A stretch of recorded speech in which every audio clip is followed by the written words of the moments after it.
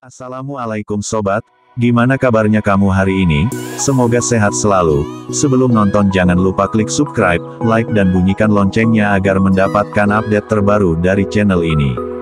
Usia jembatan Sei Katingan ini, di Kasongan Kabupaten Katingan ternyata sudah 27 tahun. Hal ini berdasarkan tulisan prasasti peresmian pada dinding ujung jembatan arah Palangkaraya itu.